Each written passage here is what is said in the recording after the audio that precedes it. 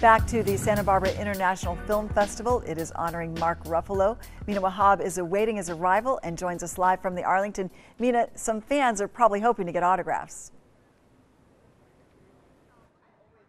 Oh, you can definitely take a look at the fans over here. We're going to have Stephanie, our photographer, pan, and I'm going to get out of the frame so that we can see the fans that are already lined up here waiting for Mark Ruffalo. You know, some want autographs, some just want a chance to, to take a quick glance at him, but it's clear that there are a wide variety of Mark Ruffalo fans, even though he is being recognized for his work in Poor Things this year. People might also know him know him as the Hulk from Avengers.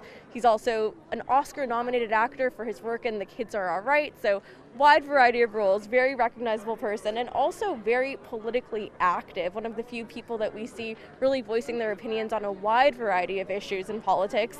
And we just cannot wait to talk to him tonight. Press is already lined up, ready to go. And the other person who will be in attendance today is Emma Stone, who is the leading role in Poor Things. Poor Things is nominated for several Oscars, and we're excited to chat with him about his work in that film. For now, live in Santa Barbara, outside of the Arlington Theater, I'm News Channel reporter Mina Wahab.